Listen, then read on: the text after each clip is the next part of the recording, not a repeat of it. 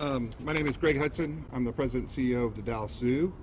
Uh, today we're going to have uh, Harrison Edell, who is our VP of Animal Care and uh, Conservation, up here as well, uh, as, well as, uh, as well as Sergeant Mitchell from the Dallas Police Department. Um, uh, let me first state, state that it, it was a really stressful and frustrating day for all of us here at the Dallas Zoo. Um, it was, you know, it was a very, uh, it was an unprecedented kind of thing that we've had to deal with today. Um, and it started off this morning. We discovered Nova, a clouded leopard, was not in its habitat. Um, we found a suspicious opening in the habitat wall at the front of the exhibit. Uh, following our protocol, every morning we come in and check, do a head count, uh, check the exhibits. Uh, the cloud leopard was not in the exhibit, and we found this breach in the exhibit. Um, it was clear that this opening was not a habitat failure, it was an exhibit failure, and it wasn't keeper error. Um, we are fully cooperating with the DPD and their active investigation of this. They came and, and helped us, assisted with this uh, as, as soon as we called the code blue, which is uh, a non-threatening um, animal uh, out of its exhibit. Uh, and they've been helping us with the search all day. I'd like to thank them for their assistance with a lot of the technology that we've used today to, to search the zoo grounds for um, the clouded leopard. Uh, we, we also checked all the other habitats uh, and they are secure. We suspect the animal is still on property or nearby, so the search is still continuing. These are very elusive animals. They're, they're, uh, they live in dense forests up in the trees, so it's a very difficult animal to try and find. Um, and as I said, we're grateful for the advanced technology that DPD has let us use. Uh, we're continuing to follow on credible tips. We're getting a lot of them as the information has been spread out. You guys have helped us get the information out. We've been active on our social media channels, giving everybody update. We've also contacted uh, some of the neighborhood associations. Uh, and if they, they think they see Nova, don't approach it, take a picture, uh, take that photo, direct message us on our social media channels or call us at 469-554-7510. Um, as far as the operations of the zoo, uh, we are planning to open the Wilds of Africa tomorrow uh, with the zoo on a normal Saturday. We are not going to open the zoo north because we're going to continue to be looking. If status quo is what we have today, we will con be continuing to look for the clouded leopard tomorrow. Uh, for a little more detail about the animal, I'm going to call Harrison Edell up and have him uh, talk a little bit more detail. Uh, as Greg mentioned, my name is Harrison Edell. I'm the zoo's Executive Vice President, Animal Care and Conservation. Um, as we shared with uh, folks earlier today, uh, Clouded Leopard is a small cat. She's only about 25 pounds. Uh, Nova's larger than a house cat, but smaller than most bobcats. Um, and as Greg mentioned, they are elusive cats. Her native habitat in the wild would be dense tropical forest, and she's designed for life up high in the trees.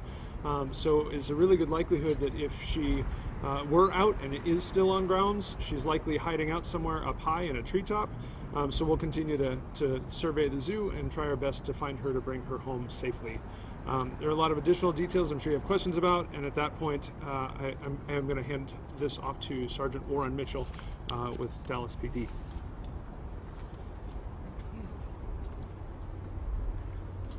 Good afternoon, Sergeant Warren Mitchell, W-A-R-R-E-N M-I-T-C-H-E-L-L, Public Information Officer with Dallas Police Department. When we uh, initially responded to the location of a report of a missing clouded leopard, we first uh, dispatched our SWAT officers out here, not clearly understanding what a clouded leopard was. You know, we were thinking perhaps a big cat. Uh, so they started the initial search but when we got an understanding what uh, type of animal we were dealing with, we released our SWAT officers and then we added patrol resources out here. We also uh, dispatched our drone unit and, uh, and, they have been out here ever since. They have checked uh, all the areas and so far we have been unsuccessful. Uh, investigators had come out and uh, when they looked at the area where the leopard was, the clouded leopard, uh, it was their belief, and it is our belief that this was an intentional act. And so we have started a criminal investigation. And that's an ongoing investigation, so I cannot go further into it other than that.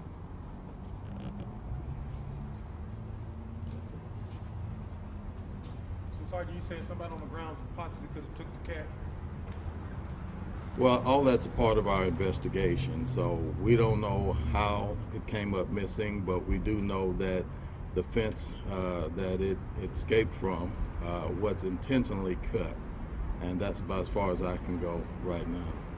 Do you know if you've located any devices used to cut the fence, or you tell what it was cut with? No, well, we we did dispatch our crime scene evidence team out here, and so they uh, collected some evidence. So at this time, I do not know, but it did look intentional. And do you have any video of a suspect or anyone that is in the area, was in that area at the time? We have reviewed some surveillance videos, but not enough for me to be able to give you information to what we have seen. Are there any persons of interest, some suspects that you're looking at right now? Not at this time, but we do encourage anyone who might have seen anything to definitely call 911. Did, did it look like someone jumped the spotted leopard or just cut it so it could get out? Well, you, if you if you intentionally cut it, you know, I I, I don't know. It, it's not there. So when uh, zoo personnel came in this morning and saw that the leopard was missing, and we came out and saw that it was an intentional act, you know, one can assume, but we don't like to assume during a criminal investigation. So we're just uh, going to conduct our investigation, see what comes up. It's evident that it was not the animal's doing? That is correct.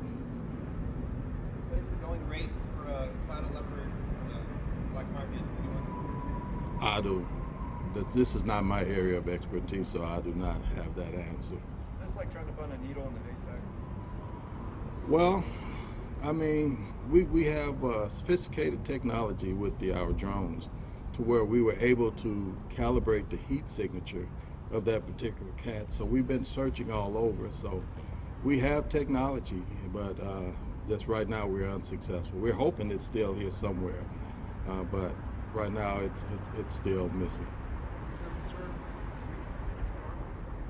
Well, uh, as concern meaning what? Searching, searching for this cat? Well, I mean, the technology works the same at nighttime as it do during the daytime, but uh, yeah, day, daylight does help a lot better. But as far as the behavior of the animal, that that's something that uh, zoo personnel will have to answer that. Do you expect to scale back DPD resources, though, as we go on into the, the evening?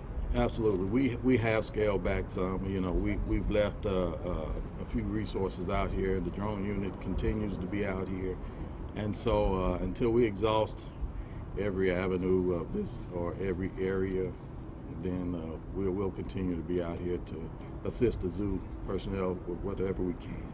So the search, the search is still on? Yes, uh, it, the search is still on. How dangerous is the animal to public and to other small animals? I would rather uh, zoo personnel answer that question.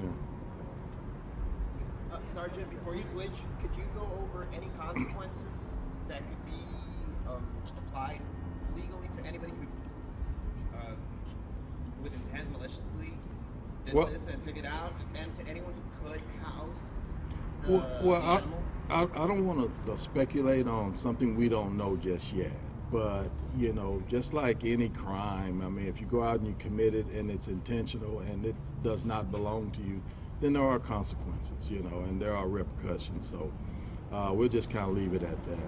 Would there be repercussions for the citizen who just sees it, maybe puts a whiskas out there and tries to lure it? Well, I mean, it could be if the, the animal attacked them, that, those kind of consequences.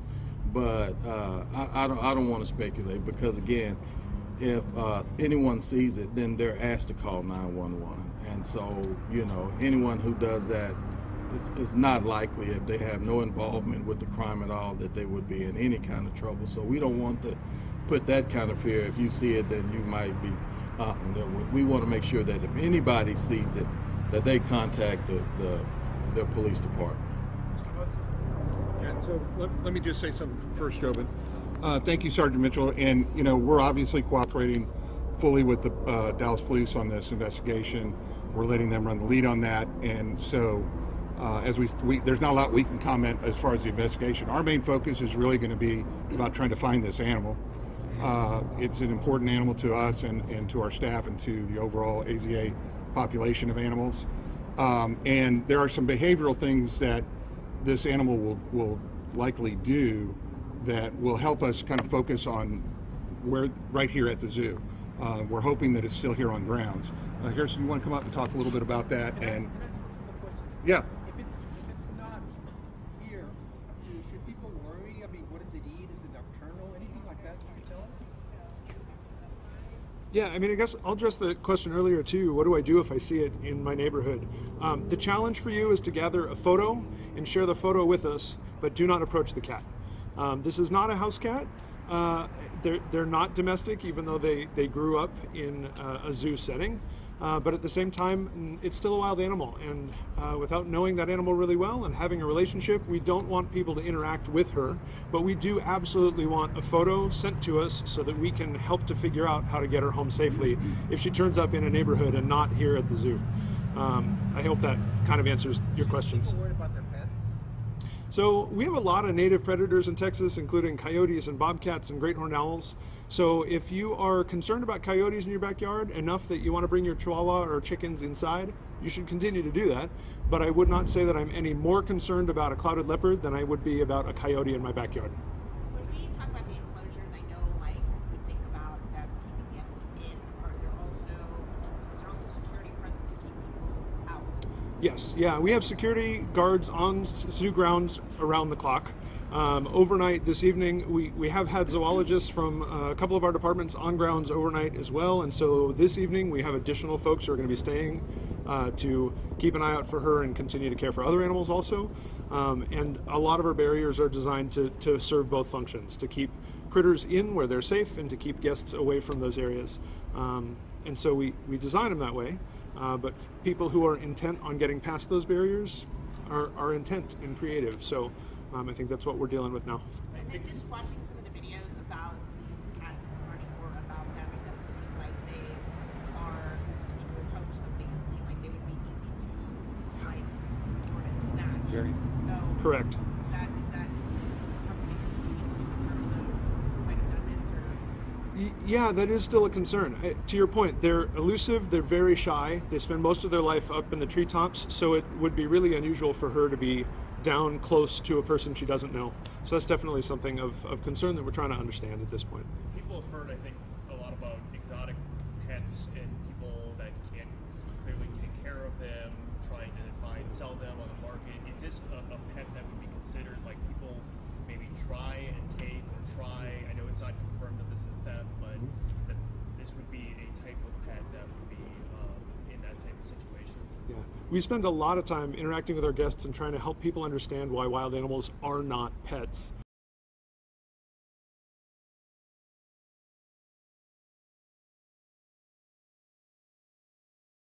that people keep as pets. Very seldom is that a good idea.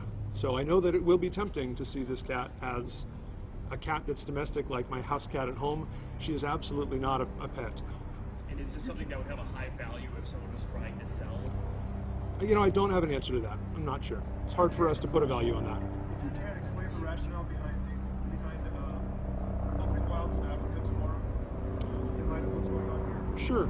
Uh, for us, the investigation is very much focused on Zoo North, immediately close to her habitat. Um, the wilds of Africa on the other side of the zoo. you start that one over. We'll start that over.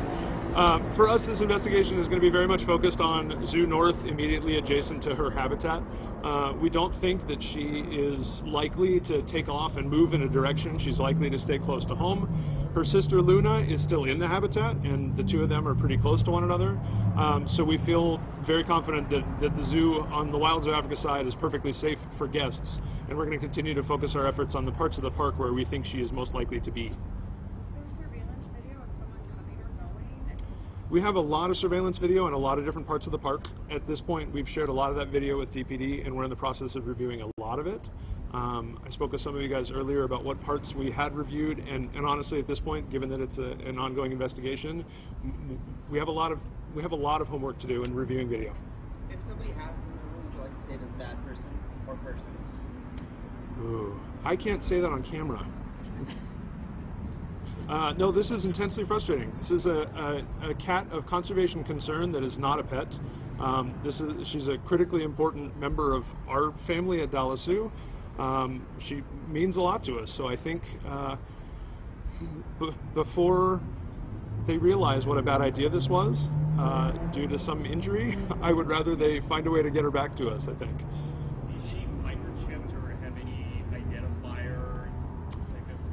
There are, yes. Um, I don't know how practical it would be to rely on them out in a neighborhood or something like that. I guess for anybody in a neighborhood, if you find any clouded leopard, we'd love to hear from you. I don't care if it's ours or another one. We just want it back. So, any other last minute? Oh, yeah. imagine this about being nocturnal, being so if she's still out in the wild or in the trees. Do you expect her to be on the move more overnight? Yes and no. Um, they are very much nocturnal, so she's going to be much more active at nighttime after dark. Uh, however, uh, they're also really generally attached to a home territory, a space that she knows, and for her, that's the space immediately adjacent to her habitat. Plus, her sister is still in the habitat. The two of them have grown up together, so they're attached at the hip. So, part of the hope is that tonight, with additional staff on grounds, some camera traps set up, we'll get a sense of, of where she might be spending time, and that'll give us the ability to bring her, her back home. To be clear, you're unsure whether someone has actually stolen her or if she's still out there. We are working under the assumption that she is still here, and we're going to continue to scan the zoo for her. If she is still here, we're committed to, to, to bringing her home. But if that was the case, we're helping Dallas PD lead the investigation on that. Could you step, could you step closer to the microphone. Yeah, I said if that if that is the case that this animal has been taken from the zoo, we're giving Dallas Poli- uh, Police Department all the help that they need to lead that investigation and help us with that. In addition to the exhibit um, having a tear, was there any other, you know, perimeter around the zoo that you found damage at all? No, I don't. no. It's an endangered animal. Yes, uh, leopards are considered vulnerable, uh, which is uh, one step away from endangered. So she is a species of, of conservation concern. Uh, coming from dense forests in South Asia, uh, habitat loss is a huge issue for them, and she's part of a species survival plan, which is a cooperative breeding program that we participate in with a number of other accredited zoos. Um, and so she matters quite a bit, both individually and as a species. So another update the date or will it be tomorrow? I think tomorrow at Yeah, the no, no more updates for today. We're going to be working on. We got our hands full. so, How many cameras do you have set up out there? sorry. How many extra cameras do you have set up there? Oh, We have permanently installed security cameras throughout the zoo, and then we have a series of trail cameras that we set up immediately near the habitat just to try and capture any motion that goes on overnight. So, uh, with a couple different networks of cameras, we're feeling pretty prepared tonight to try and capture some information.